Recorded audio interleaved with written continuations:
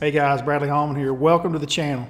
Man, I've got a really, really special show for you guys today. This is going to go right in line with a lot of the other uh, co-angler series that I have already done. This one's another interview that I've got another buddy of mine that has got a tremendous amount of experience out of the back of the boat.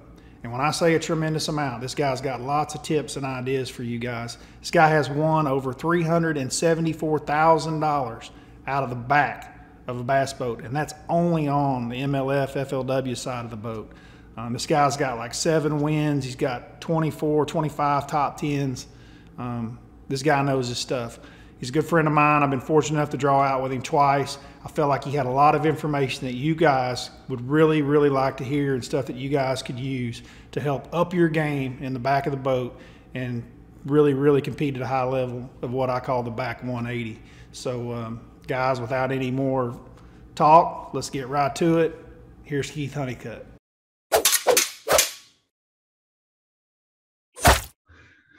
All right, dude. Uh, I, have gone through your stuff. I'm really excited to have you on here, man. This is a big deal to uh, to have you here with me, Keith. I really appreciate you doing it, dude. I, I was going through today whenever I was getting ready for you to come on. I, I clicked up your stuff and uh, I started at Bassmaster and then I moved over to uh, to to FLW or the MLF now website. Dude, you got like seven wins. You got like 20 something, 25, 24 top tens. I mean, it's a lot. Yeah, I've been I've been blessed. You know, um, Hallman, I, I grew up fishing, man, wading the creeks, not wanting to go to school, not a very good student. And uh, I just uh, kind of followed my passion, you know, uh, not really at the level that I would like to be at for my age right now, but you know, kind of kicking it off and telling you how I got started, man, I got a good, good break in 2007 when I won the Stren Series championship. And, um, you know, when you're, you know, late 20s, early 30s, and you're fishing around the house and you're not winning very much money, it's 100 bucks here, a couple of, you know, Tuesday night tournaments. And then, you know, um, I actually made the championship for the Stren Series championship in 2007, and I wasn't even going to go because I, I own and operate a landscape service, and and um, just my guys were not all showing up, and I go to eat at my grandparents' house, and my grandfather said, "Man, did I ever tell you about the time uh, back in Mobile, Alabama?" And I like stopped eating, and I said, "You're from Mobile, Alabama?" He said, "Yeah," and I said, "Well, that's where I'm supposed to be going tomorrow." And he said, I know, that's why I'm telling you. He said, You're going to go down there and win this tournament. Now, my grandfather was a real hardcore worker, like eight to five, go to college, no yeah. bull, you know, no cutting up during the week, and fishing wasn't going to get it. And you're hunting too much, and you need to, you know, scale back, and you need to think about work. And uh, I ended up winning that tournament, winning sixty-five thousand dollars. And uh, but you know, um, I caught two fish the first day on a spinner bait, and I was thinking, man, I suck. You know, two fish for four pounds. Why the hell am I even down here? I knew I shouldn't have come to this thing. And then I drew Ott Defoe the next day. You know, Ott, he's just as easy as anybody could be. And he said, Hey, man, you got a chance. And I was like, dude, I'm way out. And he goes, no, dude, you got a chance. Anybody's got a chance fishing on the river. And so uh, we pull up to the magical log and um, I, we catch like 13 keepers off this log and I catch like 12 or 13 pounds the next day and I make it into the top 10.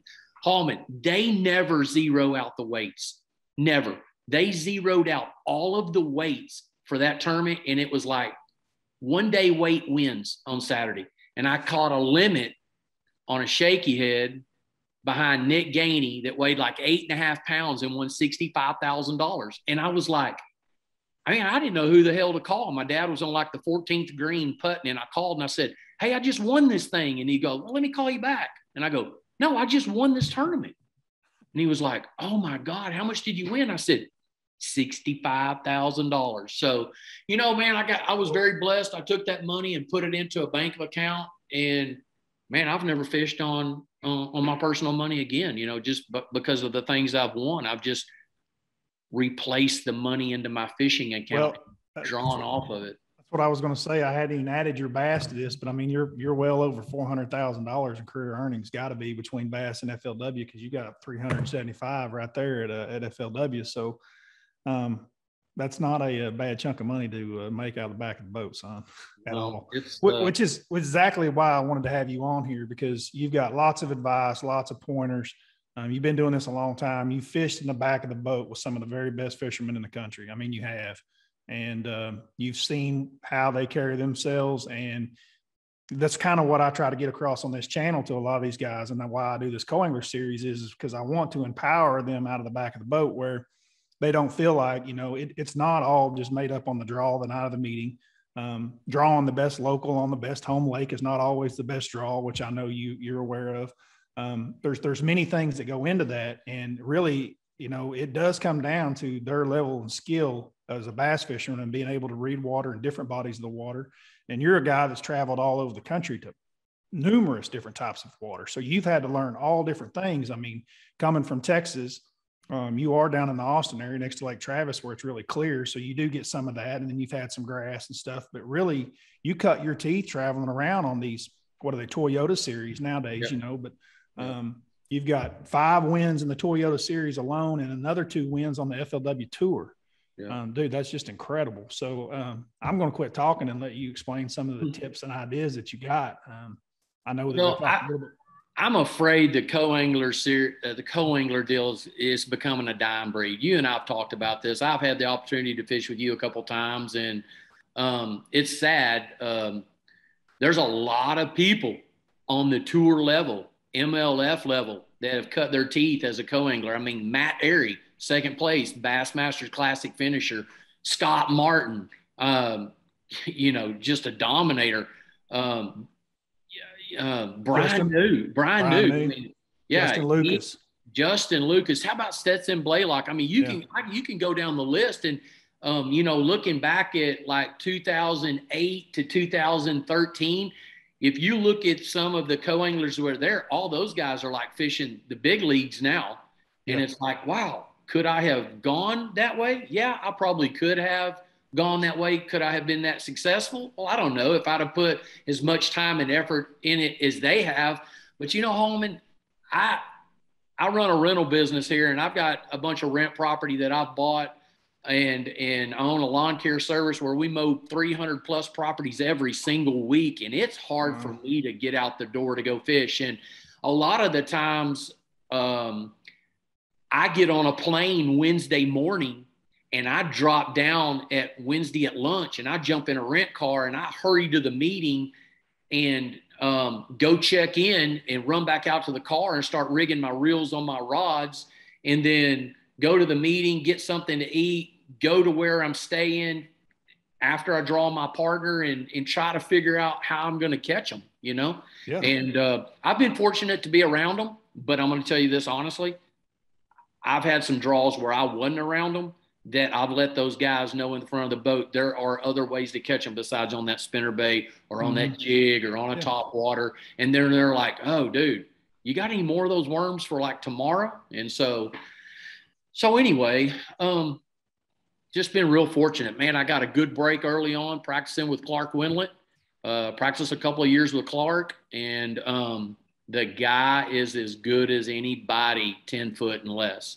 Never really fished deep with Clark. So it was spinnerbait, chatterbait, top water, Senko, just 10 foot and less. And so what year did you think you started fishing with Clark?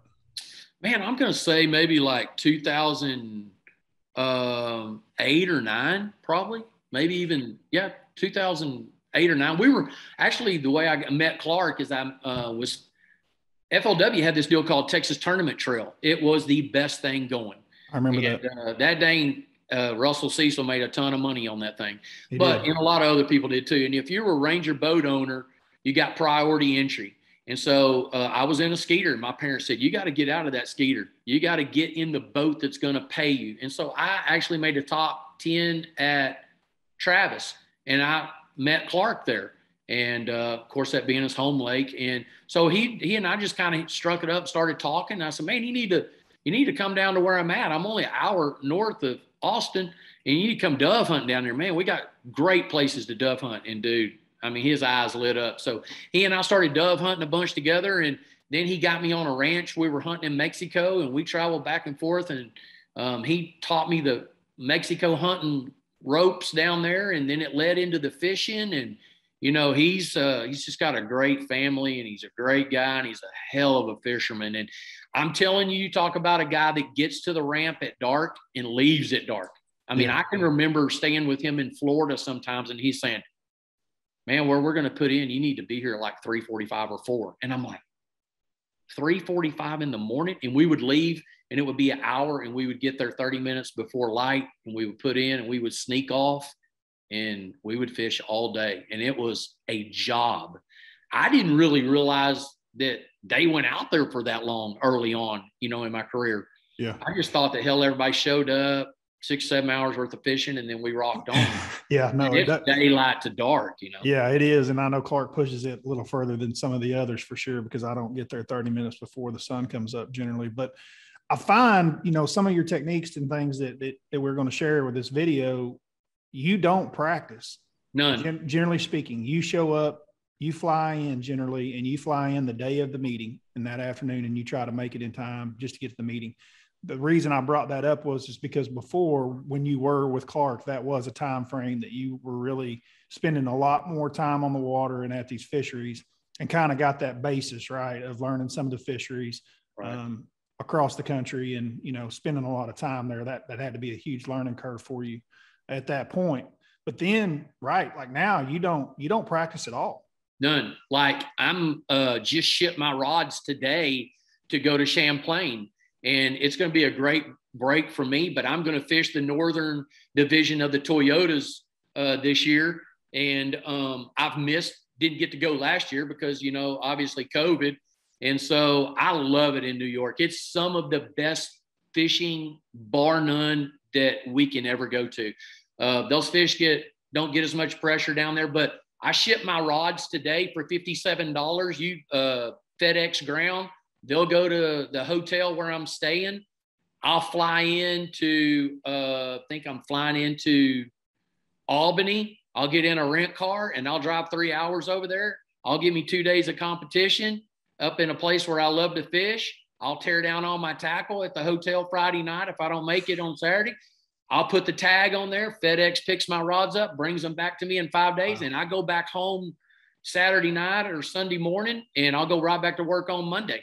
So and, is is the purpose of mailing it is that because it's cheaper, or just don't have to mess with them with the airplanes, or I, you know, early on, um, I was taking my rods and I would fly Southwest to places that I could fly into Southwest because your tackle bag and your rod tube counts as one piece of luggage.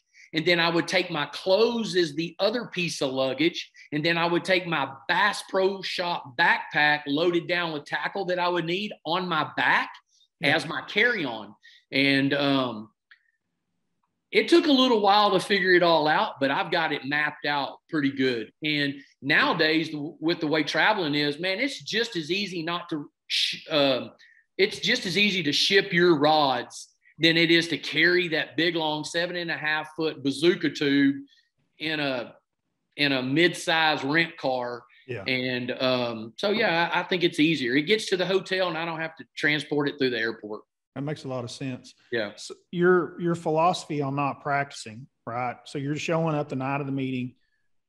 You obviously feel like that helps you in tournaments. I mean, a guy that's won seven events with as many top tens as you've got, it's obviously working for you. I I think it benefits me. You know, you take some guys, and I know I keep throwing Brian New out there because Brian and I were friends when we were on the co-angler side, but he practiced with, you know, Bryan Thrift all those, all those times and he had it narrowed down.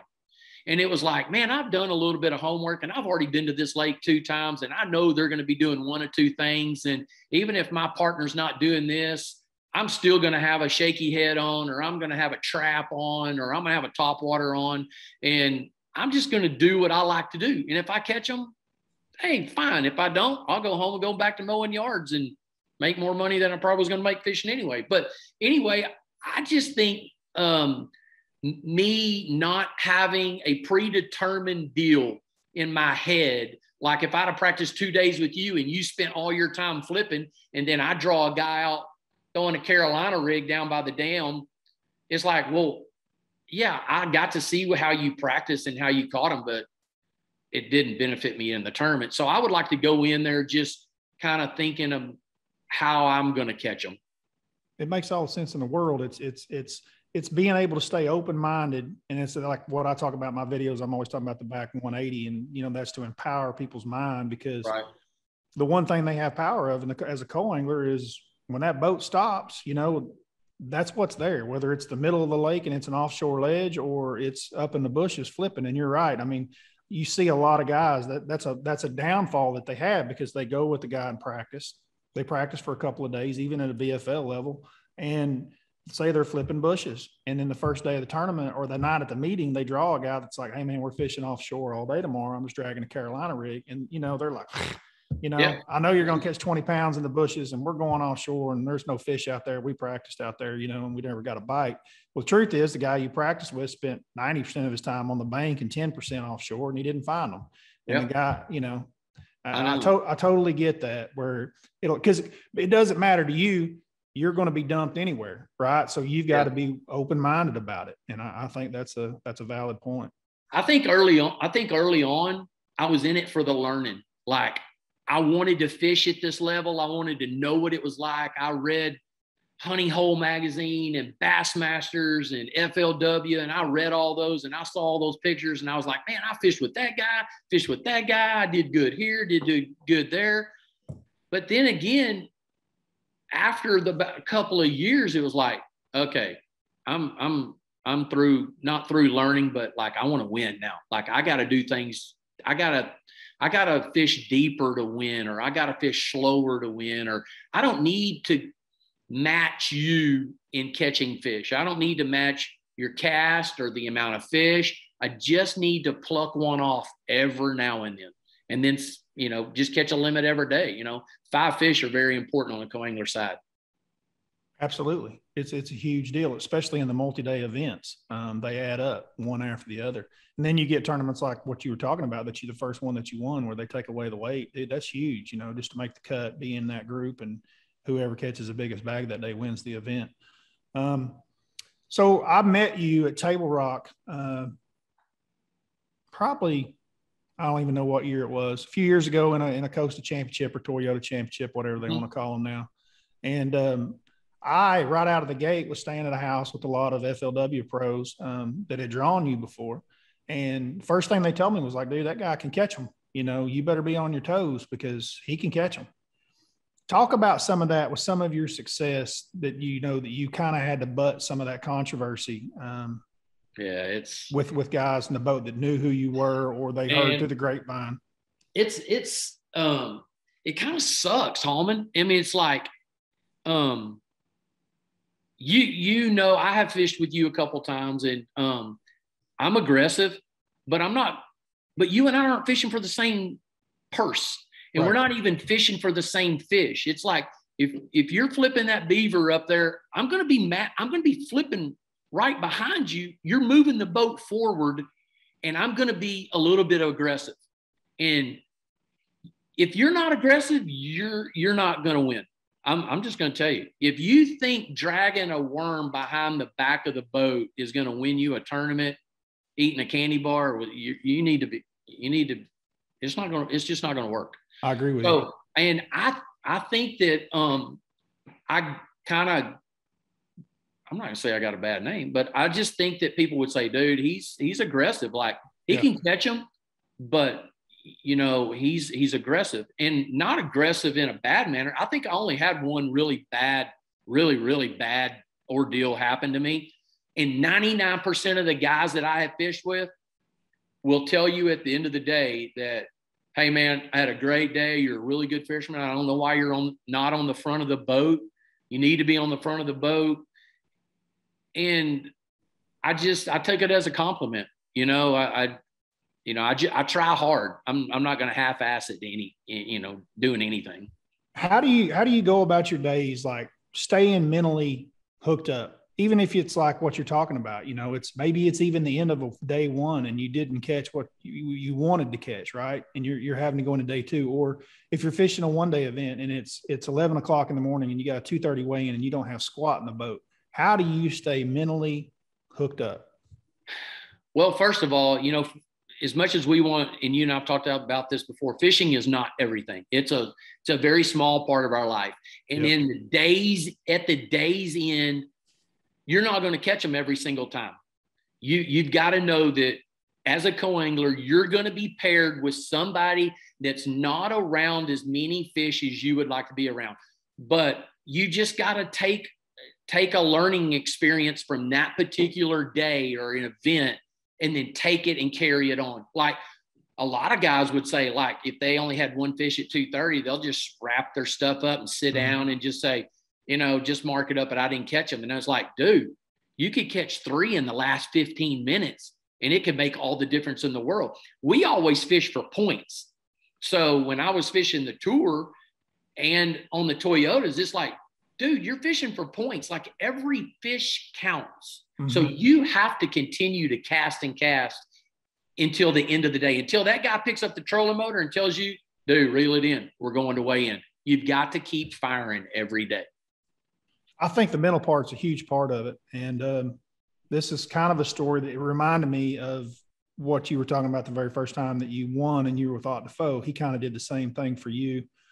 I've had a, I've had some co-anglers in my boat before, and I, I, I mean this with all everything I got. Like guys always want to know what the secret is in fishing, and, and after you get to a certain level, it's up here, mm. and it is believing that it can happen.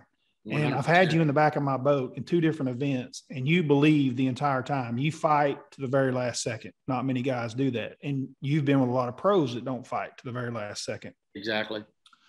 But I had a woman one time who knew nothing about fishing. And uh, she told me early in the day about um, all these anglers, big name anglers, great anglers, had that she had drawn out with. She'd been fishing this calling on FLW tour quite a bit. Her and her son or grandson, something like that. She was an older lady, and um, she really wasn't that good of a fisherman. I shouldn't be saying that on this. Somebody may chime her into this because she was a savior. We were on Beaver Lake, and it was day two. It was the year that it flooded. You remember when it came up like 25 feet from practice yeah. to the tournament yeah. days? And I didn't catch squat the first day, and I wasn't catching squat the second day. And I mean, dude, it's like noon, and I got a three o'clock weigh in and she's back there just telling me how great I am all day long. You know, she's been following my career. She knows all about me, how great of an angler I am. And she's just blah, blah, blah. And I'm up there and I'm pretty hum ho on myself. You know, this place sucks. It's Beaver Lake. And I'm not catching them. And I'm on this bank. It's real steep, 45 degree bank. And I'm, th- I got a spinning rod out. And there's three boats in front of me, all doing the same thing. You know, and we're all spinning the rod down this 45 degree bank. And I, I, she just keeps talking. And I looked over at the other side of the bank and I thought, man, it's springtime and I'm over here on this steep rock bank, and across the pocket's the flat side of the pocket. You know, you got a steep and a flat. And I was like, if I just showed up here, open minded, right? Like what you're talking right, about. Right. If I just showed up here and hadn't fished at all or practiced, would you be sitting over here with this spinning rod in your hand and this little worm? I was like, no. I sit down and put everything up in my boat, every rod on my deck, which there was like 30 of them. I look like I Iaconelli. I put everything up and I grabbed a frog, a spinning rod, and a flipping stick. And I was like, if I'm going to go out with my complete tail kicked, I'm going out my way, yep. even if it's the last three hours of the day. And I go over there and I pick up that frog, and it was like magic, Honeycutt. I, would never seen anything like it. I, one blows up, and I'm like, damn, I caught a fish or a beaver, and this is like a three and a half pounder. I'm like, that's a pretty Big good one. Yeah. And she just starts. See, I told you, you have time. And I'm thinking, I don't have time, lady. I got like 10 and a half hours, and I got one bass in the boat.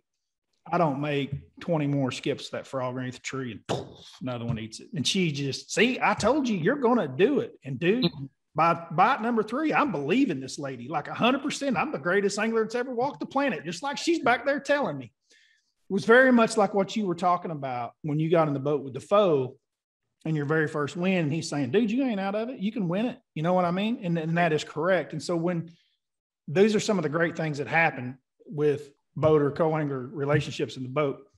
The second time that I drew you was the same thing. Um, it was my home lake, Grand Lake. The water was in the bushes. I didn't have a great tournament when it was all said and done, but I did cash a check and I salvaged.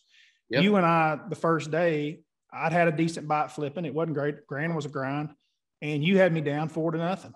Mm-hmm. And dude, I took some tips from what you were doing. I asked you what size weight you were flipping. You were flipping a lot lighter. I sat down, changed, and my day picked up and we both caught them and we got out of the boat at the end of the day. But I'll never forget, man. Like I, it's down to the last 30 seconds of the day and I've only got four.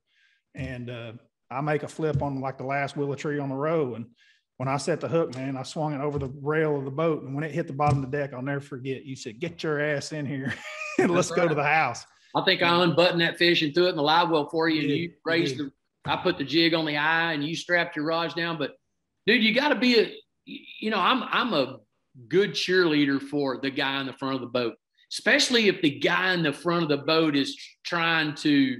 If we're trying to work together, right. and um, man, it just makes the day so much better. You know, you get a chance to travel the world and, and fish with people that you don't know and you become good friends with them and um, i just like a good solid day of fishing with a lot of positivity and even if we're not catching them let's keep moving. You know let's if we're not if we can't catch them under the docks well then let's go to the to the wood. And if we can't catch them in the wood well let's go throw a crankbait. But let's keep trying. Let's just don't give up. Tom and i can't tell you like maybe two or three of my wins um, have been kind of credited to myself because two of my wins on Rayburn, um, I've had co-anglers tell me that, dude, if you've got a place where you feel like you're comfortable going, you just tell me.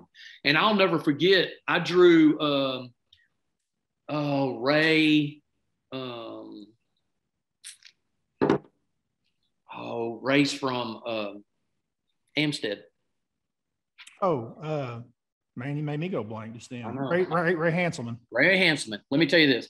So I draw Ray Hanselman and we go fishing. And he said, dude, I'm catching them on a trap. And I like, I'm thinking to myself, I ain't gonna throw no trap. I'm gonna throw a swim jig. Okay. And so, and this is a true story. And um, so I throw a swim jig and I catch like a three and a half pounder and it's cold. It's brutally cold. And I catch like three and a half pounder, and then I catch another three and a half pounder, and then he starts paying attention when he's netting my fish, like you know what I'm catching them on. Well, I caught a big bag that day, and I think I was leading the tournament. The second day guy tells me that, hey, I just caught three fish, and they only weigh ten pounds. We'll go do whatever you want to do. So I go to the opposite end of the lake and do the same thing in some stuff, and I catch another good bag. He doesn't catch much, but I catch another good bag, and I make the final day. Well, then the third day, um, I mixed in some spots of my own with his spots, and I end up winning the tournament. And I'm I driving home. I'm thinking, man, what if I didn't? What if I wouldn't have spoken up? You know, what if yeah. I wouldn't have gone over to these spots? And it it happens. A lot of co-anglers will tell you that some of the boaters, I don't call them all pros, but some of the boaters will tell them, hey, look, if you've got something, we, I don't mind hitting it at some point during the day mm-hmm. because you're going to learn something. If you trust in him, you're going to learn something. And it may come back to help you two tournaments down the road if you ever go back there. Yeah. But, it, it, it goes both ways from the front of the boat. There are days where I've kind of got my game plan and I'm going to do it no matter what, right? Because like I've spent my time practicing my money and I've got a game plan that I want to do from beginning of the day to the end. And I'm not talking about just grinding on one stretch or doing just one thing, but I may have three or four different patterns that I want to check in, the, in a day. And, mm-hmm. and guys have got to understand that there's going to be guys like that. I've also been that guy, exactly what you're talking about. I led a BASS event uh, right out of the bat. Uh, it was an open, um, probably like 2004 or five, and it was up on Lake Norfork, which was a really tough place. And I drew a guy, it was an older guy, and I knew at the meeting that night that that he knew his way around that place. And um, I had a nice start to the morning, and, I, and he and I were having a good conversation, and he had a couple good fish. And I said, "You got anything that's close to here?" And he said, "Yeah." I said, "I don't want to run like ten miles or something, but because we're going to come back through this little honey right. hole and milk them. But you know, if you got something close, dude, let's hit it." Yeah. Well, he had something close. And let me tell you, he had something, something. Uh, it was like 45 foot deep house foundation. And every time our football jigs would even come within five foot of that thing, they would, it felt like Sammy Sosa cracking a bat. They hit that jig so hard. And, and, we both loaded the boat, dude. It was an incredible day. But uh, See, that's what I'm talking about, you know? Yeah. And yeah. that w- and that will help you down the, that will help you. That kind of helped you get over maybe not believing the co-anglers. And you have to think back like man, I got to take a chance every now and then. And you, I, I, think some of it comes from experience too, right? Like you yeah. can kind of feel out throughout the day. Oh yeah, how much that guy really does know and how much smoke he may or may not be blowing. Yep. And and I can tell pretty quick, you know. But I mean, we've been doing this a while, and um, but yeah, I agree, hundred percent. It can go both ways. That both of you can help each other, and uh, like I say, that that mental positivity in the boat goes both ways for both of you in the water as far as working together. What other big pointers do you think of? Just like top two or three, just off top of your head for guys that are fishing. You know, maybe not fishing the Costa level, but you know, fishing BFL levels or federation stuff man, you can catch so many fish on a spinning rod. And you know, you, you you know as well as I do, you can put the same dang line on a bait caster, but there's something about that spinning rod. And whether you throw a shaky head or you throw a drop shot, um, prime example, uh, Gary Haraguchi, guy from way out west California. Yeah. I'm he and I are um, pretty good friends, and I saw him at the boat ramp one time, and I've always wanted to meet that guy because he is a king drop shotter. And I was like, man, I would really like to know more about the drop shot. I mean, every tournament, um, that drop shot catches them. Hallman, I don't care if you're flipping wood, you can still catch him in a drop shot, or he can go on the other side of the boat and it's still a drop shot. You can catch him in the winter, the summer, the spring. You can put a, a wacky Senko on that drop shot. You can put a little shaky head on that drop shot. It's it's a killer.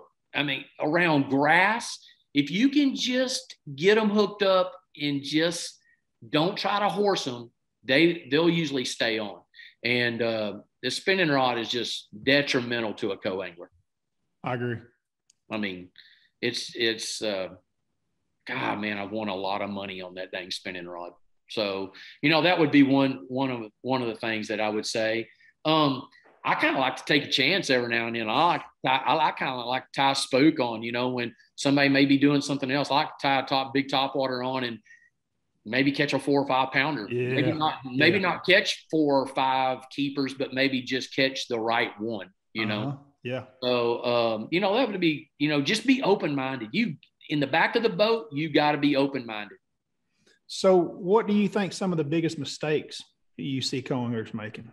Uh, what we talked about earlier, you know, them practicing with somebody that f- fish shallow for three days, and then they draw a guy that's going to throw a Carolina rig out on the tips of a bunch of sandbars, and they've already got a bad taste in their mouth because it's not how he and his partner fished, and now he's got to cut all of his line off and all of his braid off. He's got to take his jigs off, and it's like, dude, just be open minded. If you'll just be open minded, it can work. I promise you it can work. I've been one of those guys where, you know, I'm staying in a house full of guys like y'all, and everybody's catching them sh- shallow around the grass. And then I've got a guy that's wanting to go out deep. And I'm like, golly, I can't believe this guy can't figure it out. I mean, I've got five guys I'm staying with that have figured it out, and I draw the only guy that hasn't figured it out. But then I go out there and I start catching them, and it's like, see, this is what I get for being lopsided, you know. Yeah. You yeah. have to be open minded. And then I get to thinking, after drawing that guy the first day, that's the same thing I would like to do the second day because not many people are out there doing it. And I probably got a chance to win out there. I don't have a, a chance to win fishing shallow. So it's like, you know, it's it's a it's a learning curve, you know, because a lot of co-anglers come to being a co-angler because they have their own boat at home. And so they get to be the guy that runs the trolling motors. So they're aggressive on their home lakes or they're aggressive in their bass champs tournaments like that. But when you get in the back of the boat and someone else is dictating where you fish and you can catch them, then you're a good fisherman. Yeah, I, I, I totally agree. You know, you have to adapt to the situation and just be open minded. You know, I would tell I would tell co-anglers, um, man, be prepared. You know, like keep a pack of worms in your pocket, keep some hooks and weights in your pocket. Don't don't have to set your rod down and and get in the back box and dig through your whole backpack to find stuff. Have a clue of what's going on. Prime example, we were at uh, Harris Chain and I catch them on this little bitty worm made by Yamamoto. I catch them all over the country on this thing. It's a little grub. And um, I started catching them like really quick. and um, I would just lose that worm, and I just whip out that deal and put another whip out my pack and put another one on and fire out there. And that guy turned around. He says, "Is that the same one?" I said, "No, I've gone through like five worms." And he is like, "Well, you're not like getting into the box." I said, "Dude, I got hooks and weights and worms all in this front pocket right here." And I said, over on this pocket right here, I got a swim jig, a jig to flip with, and uh, a Zoom speed vibe, you know, that I can switch out. And and he was like, I could see him up there shaking his head, like, "Yeah, I think you got it figured out. You know, you're yeah. a little bit more organized than the than the ordinary guy." So, well, that that leads into one of the biggest questions that I get a lot on this series: is how much tackle do you carry? And how do you condense it down? How do you get down to where you're not carrying because you're obviously not carrying every color of the worm under the spectrum and all that. You know, um, blacks and blues and browns.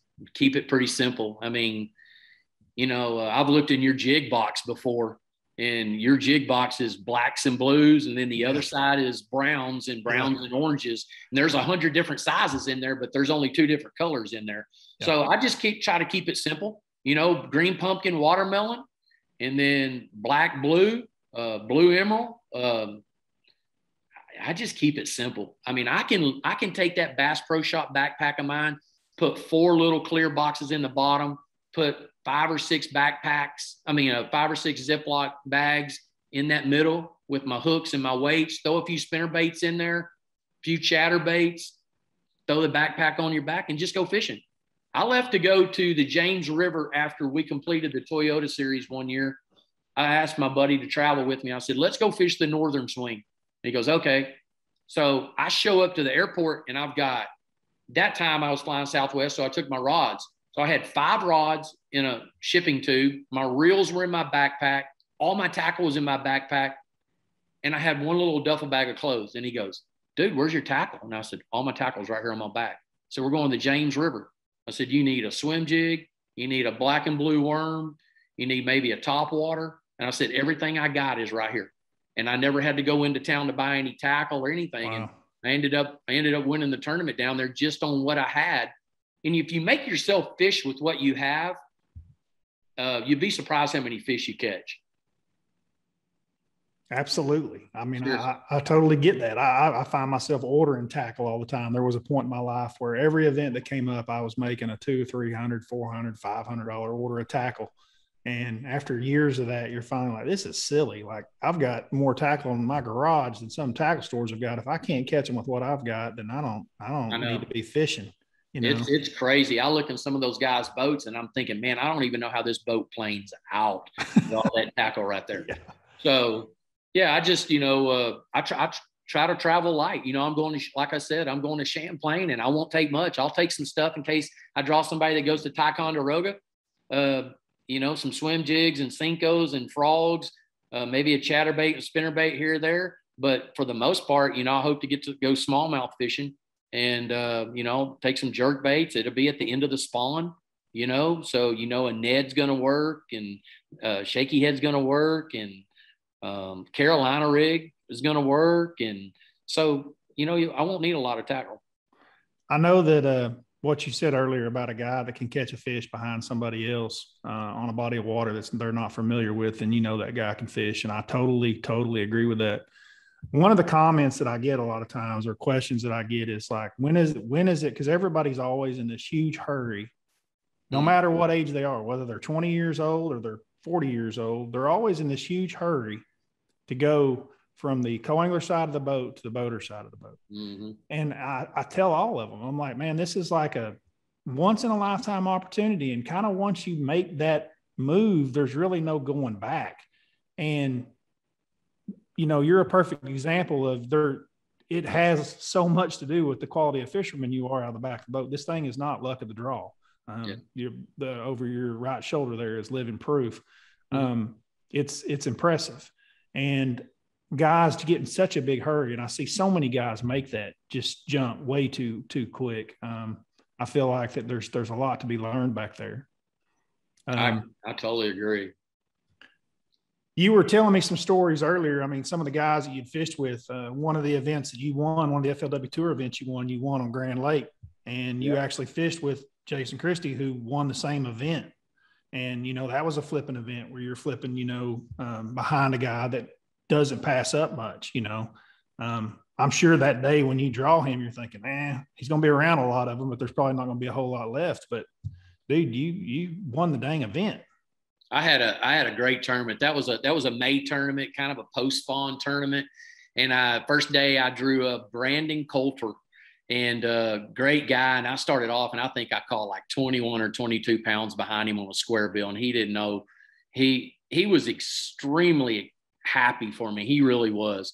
But I could tell it was killing him too, you know. And uh, so the next day I draw David Fritz and I catch like 15 or 16 behind Fritz throwing a throwing a crankbait. And I'm like, golly, man. And then I went in and I had like maybe a four or five pound lead. And then the next day I kept watching, like in FLW, like they match you number for number. So if you're number two, you're going to go out with number two or number one. Bass doesn't do it like that. Bass kind of shakes the can up and yeah. they, they do a draw. So I was watching Christie and, you know, obviously Christie's like the uh, hands-on favorite there. And then so at the top 10 meeting, it's like they introduced us and I was like, I didn't want to be starstruck. He's just a guy just like you, you know, damn good fisherman from Oklahoma, just doing what he loves to do. But in the in a little bit of me, I was like, oh my God, dude, I've got like Jason Christie, you know, and everybody was calling and texting. But he told me that morning, he said, you know, I was trying not to talk and just kind of taking it all in. And he said, You're going to have an opportunity today. And don't try to match me. Just fish. Just fish the way you fish. And he said, We're going to be flipping. And he said, We're going to have a lot of boats behind us. And I said, Okay. So, man, after about the third or fourth time he set the hook and I hadn't caught one, I was like, Dude, I am I am stuck back here. Like yep, yep. he's pitching at all the good willow trees.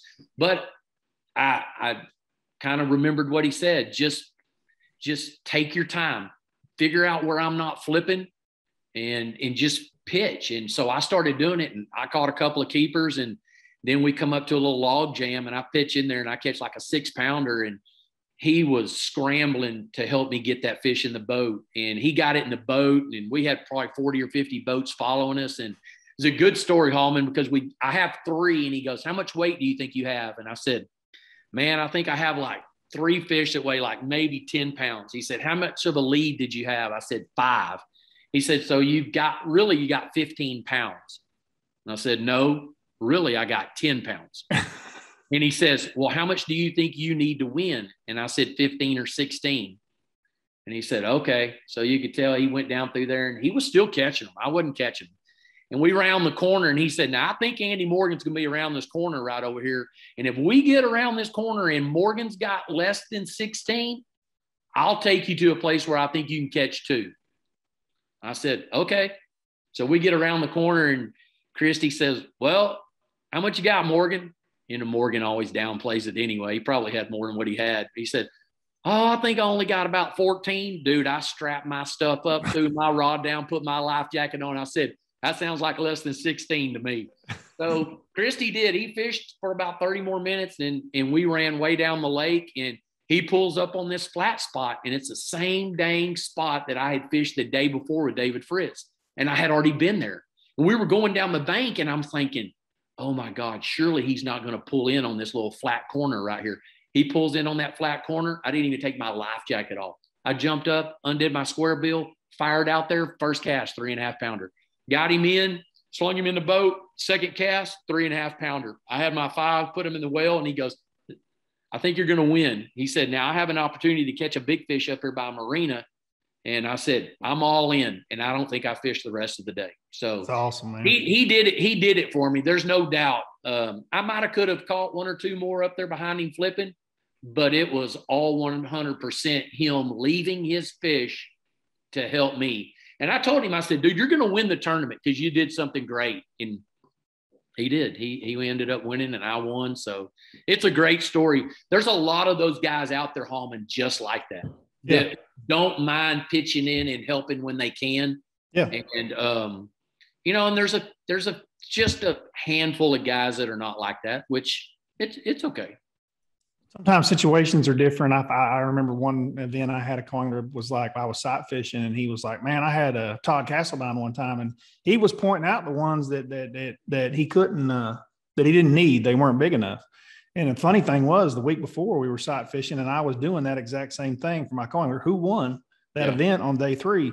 But it was a different situation. We were at a different lake. This was at Texoma, and there wasn't very many fish. It was just kind of one here and one there, and it wasn't right. a place where there was just a whole bunch of them, you know, lined up the bank where you could go down the bank and go, "There's a three pounder. I don't need it. Get it." You know, but uh, yeah, I, I totally agree. There's a lot of guys, and it goes both ways. Um, I can't tell you how much I appreciate you doing this with me, Keith. Um, sure, man. I appreciate it. You're a phenomenal co-angler. You've got tons of knowledge to share with these guys. You and I could probably go for three or four hours talking like this. Um, I enjoy hearing all of your stories and all the different experiences that you've had through life. And dude, super proud to be a buddy of yours and, and uh, can't wait to travel with you sometime when we hit the same deal or run into each other or draw each other out again. Yep. Yep. We've had some great times together. Room. Um, I've roomed with you. I've got to room with you and a bunch of guys, and it's you talk about a bunch of knowledge. I, I just a quick story. I, will tell you, we were um, staying. It was you and um, me and um, Brian Smith and mm-hmm. Billy Billy Shelton and one or two more guys, and y'all were all through with y'all's tackle, and y'all were all sitting around in the living room after you'd cooked everybody's steaks that night and I was scrambling to get on my tackle. And I was like, my gosh, all the chattering about fishing, and y'all just all had your little place in the living room, and y'all were all kind of just feeding off of each other just a little bit about how it was all going to go down for the weekend. And yeah, man, I think that's so important. And and there's a lot of guys that do it like that, but oh yeah, it's it's really fun to be in the mix with guys that are really good fishermen and know what the hell they're doing, you know. I always I know it's tough when you guys. That is one of the worst parts. You know, you're talking about scrambling around in your tackles when you're a co-angler. Like you just don't know what you're going to tie on until you go to that meeting and get some idea. And it keeps you guys up late at night when a lot of the boaters are done with their tackle. And oh yeah, um, I've witnessed that quite a few times. Yeah. Well, dude, like I say, thank you very much for being on here. I appreciate it, guys. If you're first time here, you've never watched any of my stuff on YouTube, please bump that like, hit that subscribe. Um, this is something that this channel's different, dude. I'm, I'm trying to do things to help you guys. I, I got guys like Keith that I'm buddies with, and they're nice enough to come on here and share a lot of their knowledge and information that you're not just going to hear anywhere else. Um, you're not going to read about it in magazines or anything because they just quite frankly haven't written that many articles on on co-anglers, right? I mean, I'm sure right. you got a few written, but they don't they just don't do it. So um, this is a special opportunity for any of you guys that have ever thought about being a co-angler Keith and I both encourage you to do it, enjoy the experience. It's all about the right attitude and trying to make the best of a day. It's a uh, great, uh, it's a great experience. I mean, you know, if anybody's thinking about doing it, I mean, it's a little bit of money, just a little bit of money to learn a lot in a short amount of time. Yeah. And, and if, one thing I would tell the co-anglers, man, share the expense, the daily expense with your boater. Um, you know, give him 40 or 50 bucks. I mean, that's, for oil and gas and and stuff like that, it goes it just goes a long ways, you know. And yep. I know a lot of people say that they don't expect it, but we as co-anglers, I always t- I always pay my guys because yep. I own a boat and I know how expensive it is. So, yep. you know, it's it's uh it's very important as a co-angler to share the expense. Yep. It is. And I'd say that, you know, it is about 95% of the guys that do, and probably even higher than that. It's probably like 99. And, you know, it's just like everything in life. When you get 200 people out there, there's going to be one or two, and, and everybody's got their own reasons. But don't let something like that hold you back, guys. I mean, like the co-angler experience is, it's legit. And uh, guys like Honeycutt here hammerheads at it. So uh, mm-hmm. professional co-anglers is what we coined them on tour for sure. Keith, thank you very much, bud. Appreciate You're welcome, it. Bradley. All right, guys, we're out of here.